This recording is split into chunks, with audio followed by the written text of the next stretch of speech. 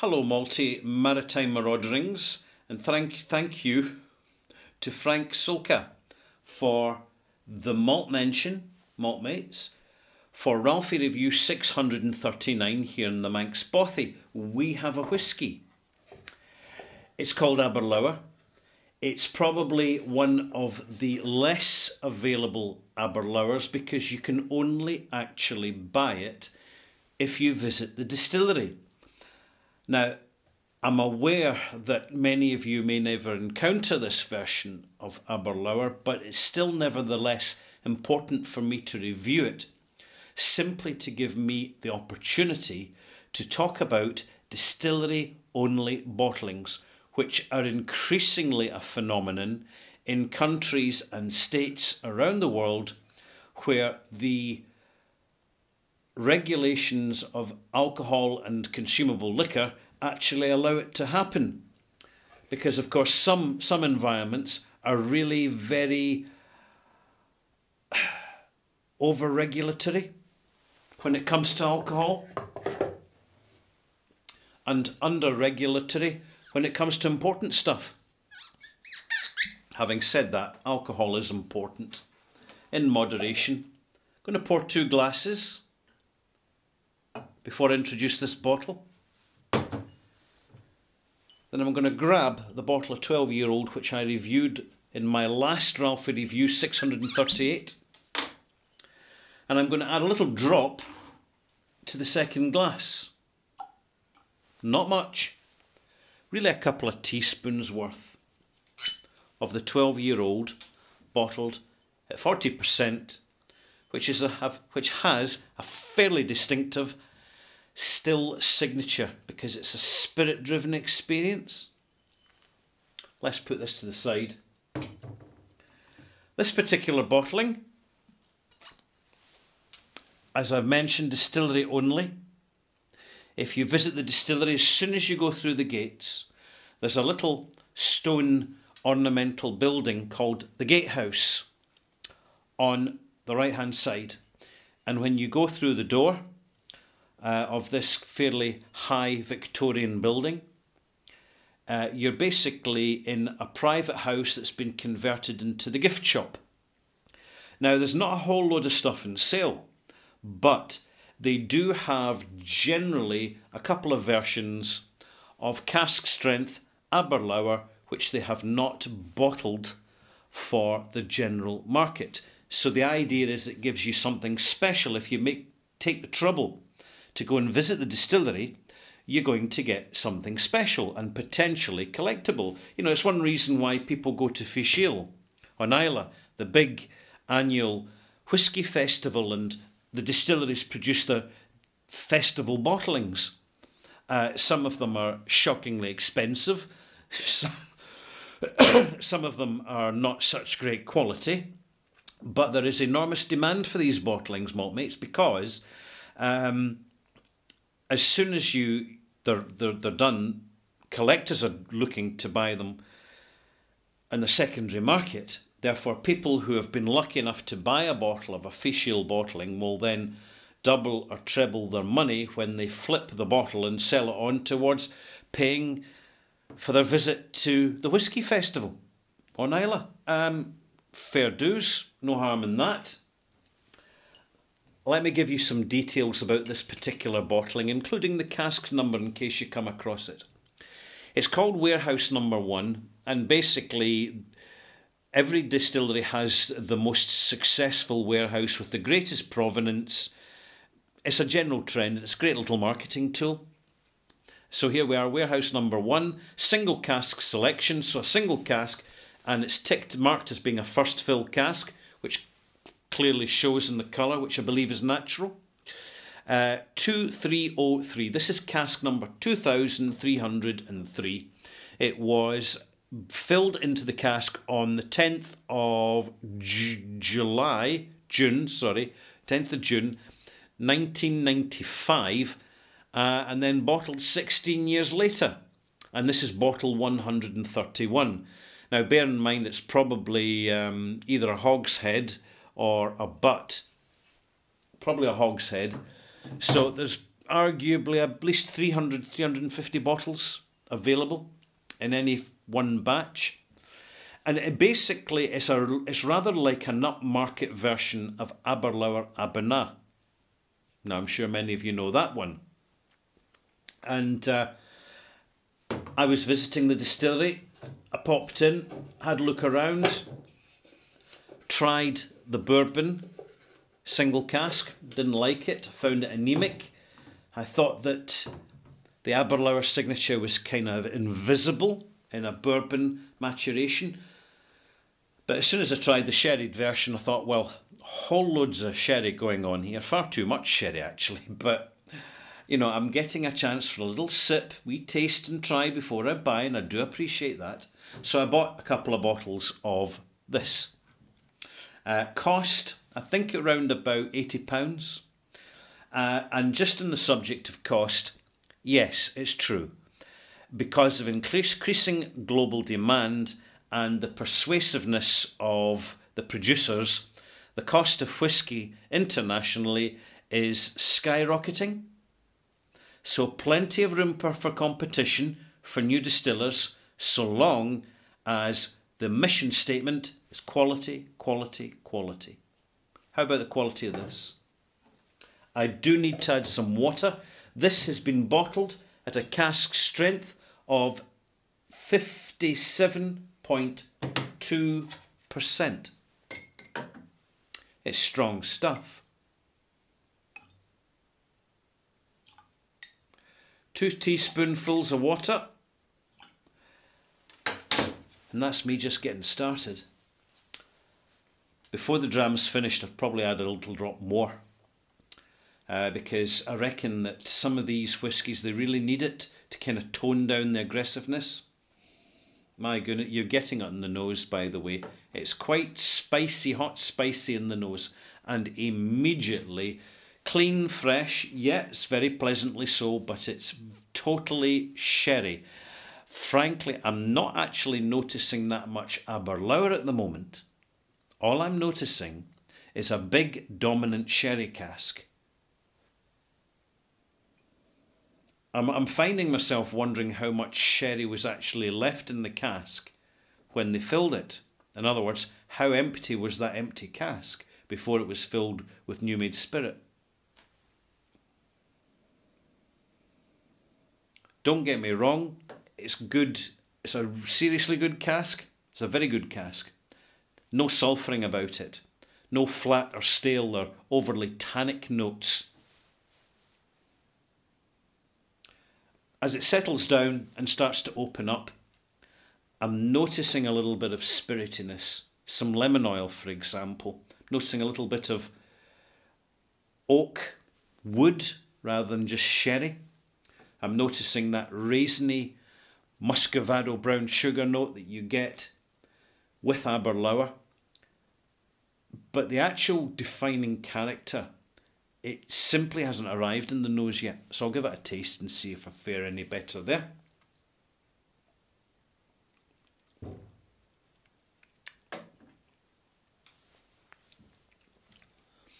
If you love sherry monsters, you would love this.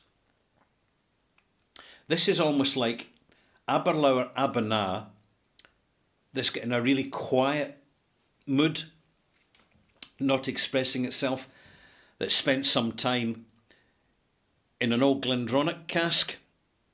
That sort of high impact sherry stuff. There's nothing subtle about it. 16 years old, it's neither young nor old. But in fact, still a handy age makes it more affordable for starters. And secondly, 16, really, at least we're getting something of the spirit character to balance things off because so far it's the cask that is doing roughly 90% of the conversation in this dram.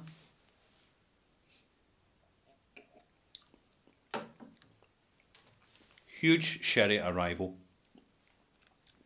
Chocolate, cocoa, burnt toffee, walnut. Quite a complex marzipan, like scorched marzipan note, a little bit of rose water or rose oil, which is one of the defining characteristics for me of Aberlour, and uh, a little bit of overbrewed tea in the finish, which you normally uh, get with a sherry dominant cask maturation. Um, and frankly, not that much else. What is there, maltmates? Is very nice indeed. It's very pleasant. But it's really quite imbalanced. Hence the reason for the second glass. Hence the reason for pouring a glass of this very nice whisky, but then doing something unusual. And normally I would recommend that you add older whisky to younger whisky, particularly single malt to single malt, or single malt to blends, in order to lift the intrinsic quality of smell and flavour. However, in this vlog, I'd like to take the opportunity of showing you the opposite thing happening, where you have an older whisky which is overtly cask dominated, and you'll spot it a mile off once you get a few years' experience under your belt, then it is well worth searching out some younger version of a single malt, or a bourbon even, or a rum, and just adding a little so as to redress the balance of spirit to cask. How are we going to get on here? The nose, still sherry, still dominated by sherry, but less so, less like a blanket, more like a neck curtain. My little obscure ana analogy there.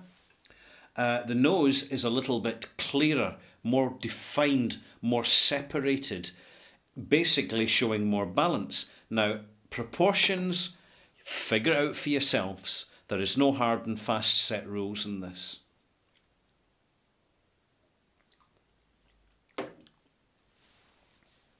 Sherry quickly evolves. Oh, that needs more water. Into cherry wood, rose oil, grapefruit rind, little touch of pineapple in there, touch of baked apple, allspice, nutmeg, raisin. You can see immediately how I'm able to pick out a much broader range of flavour notes in particular since I've toned down this single cask Aberlour with younger stuff, a younger version of itself.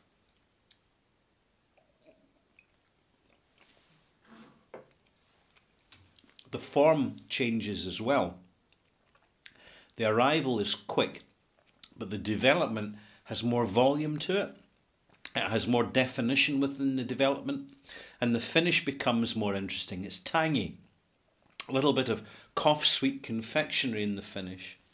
It's less dominated by overbrewed tea notes, and you've got more, like a little hint of pineapple oil.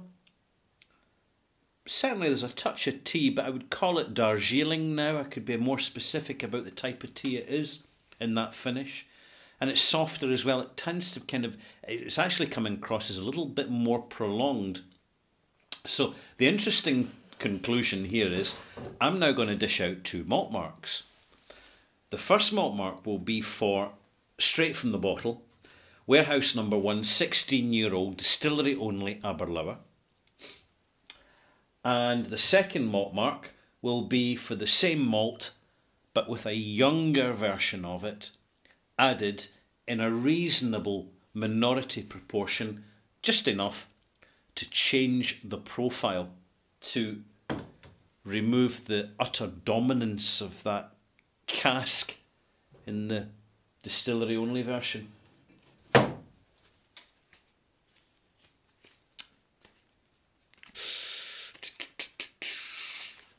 Eighty-four out of a hundred for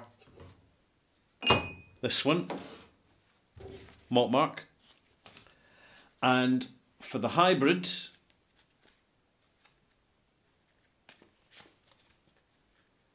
no, that's not enough. Not enough. I'm being a bit too cautious. 87 out of 100 for the hybrid. Still a single malt, no worries, but it's all part and parcel of the variety of skills that we get over time if we're prepared to experiment, if we're prepared to blend, if we're prepared to say, for example, you got an old version, you don't want to spend the money in the younger version, it might not be available, or vice versa, then you can go for a miniature. Or you can do a swap with a friend, or you could be comparing notes in your local whisky club. Now, distillery only bottlings. This is an opportunity for distilleries to increase their footfall. That's what they call it footfall. The number of feet that pass through their premises in the form of visitations, including guided tours, for which a small entrance fee is usually charged. With some distilleries, it's a big entrance fee. And on top of that, when people visit distilleries, they may go to the coffee shop and buy a coffee or a tea, a cake, a cookie, a bun, or a biscuit, or perhaps a toasted sandwich or some fresh baked scones. In the appropriately named cafeteria cafe called the the 14th stave or the the mash tun tea room you know the usual names appropriate names and they'll have the interior of the caf- cafeteria or restaurant suitably branded in sympathy to the distillery whether it be the colours or the association of some of the cooper's tools or barrel heads or old label display cases, that sort of thing. Usually, distilleries, particularly in Scotland, will have a little shop attached where they're, dis- they're selling a range of the whiskies that they produce. Now, it's not only in Scotland. In fact, it makes a lot of good economic business sense to be selling your own product on your own doorstep because if people are coming to visit you, they're there for a reason um, and they're probably in a really, really good mood to buy. That's one reason why uh, a Scotch distillery can be one of the most expensive places to buy a bottle of whisky. Visitors, please take note. Ralph is sharing here, sharing the journey. But uh, some distilleries, due to r- laws, regulations, and general over the top bureaucracy, which is always well funded and self sustaining, as part of the human condition. They may not sell their own whisky, but if they don't, they should have a tie up with a local shop just round the corner where they will send you along with a small discount voucher, probably the stub end from your tour around the distillery, where not only will you be able to buy their product, but hopefully a special distillery visitors only edition of their product. You see, it's special. The collectors love these bottlings because they're rare, they've got a provenance, a story attached to them, and generally, when a distillery is bottling its own, there's a sense of pride involved. They really don't want to be bottling a poor version of their own product because it doesn't go down well in social media.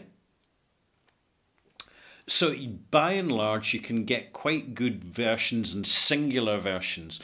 Usually, particularly Scotch whisky distilleries, they, they may even allow you to bottle straight from the cask. So, they actually have a cask in the shop, which is, um, if it's chained down enough and locked up and sealed properly, is not being subject to too many customs inspections um, and has contains cask strength whiskey. So you bottle your own, and you can cork it and seal your own, and you can put on your own bespoke label, and it really personalises your visit to the distillery.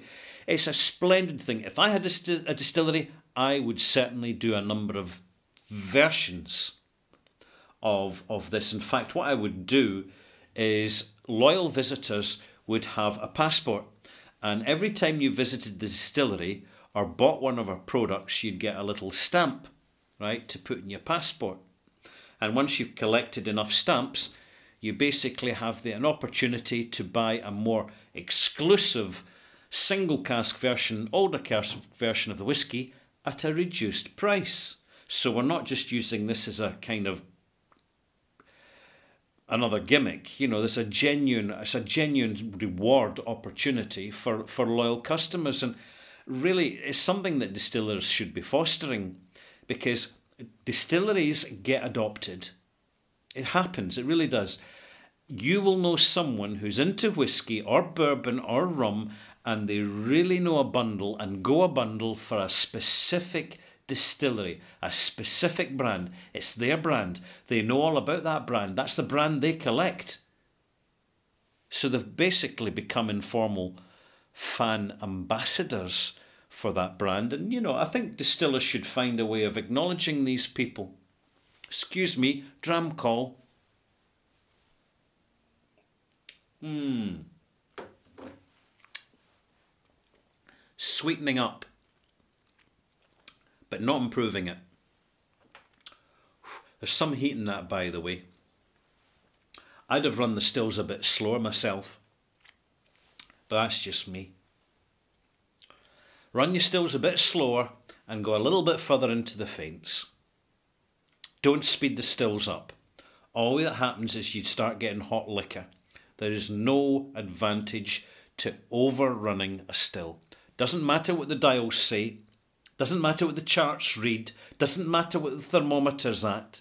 There's only one way to distill, and that is to listen carefully to your still, get to know it, know one end the heat, the other end the cool, and get the two balanced in harmony with the still itself.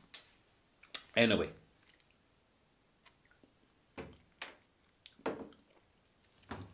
If you are visiting, oh, that's that is so improved.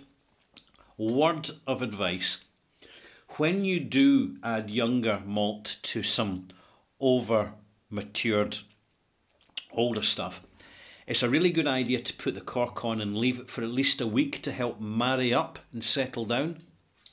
Uh, I tend to do things for the sake of a video review. I, I tend to be doing things in shorthand. Another spoon of water here.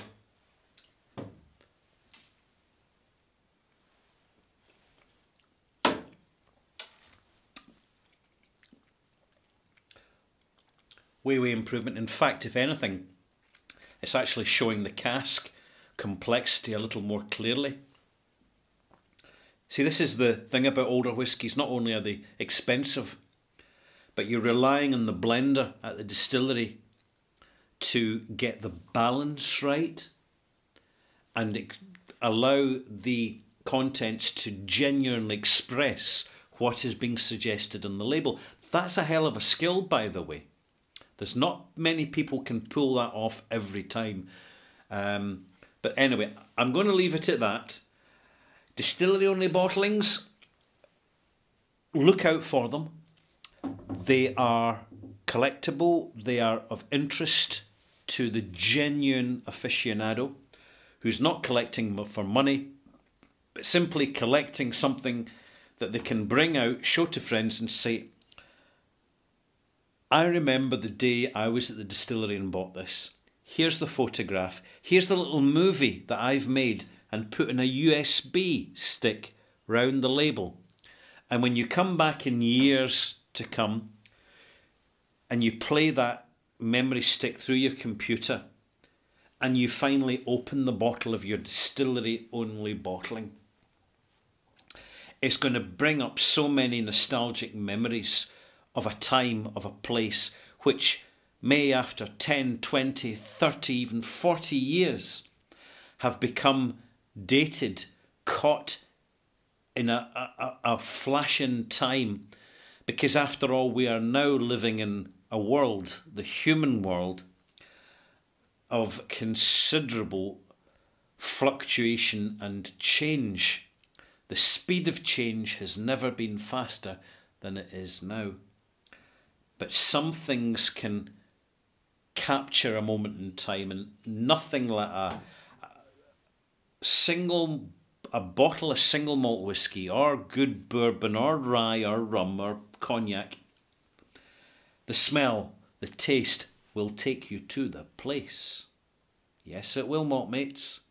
I've enjoyed myself. I hope you have. Pop it back again soon for Whisky Review 640, where, where I'll either going to be talking about good cask, bad casks, or I'll be reviewing an old grain whisky and telling you why I've been disappointed with it. I haven't quite made my mind up yet what I'm going to do, but it won't be long now.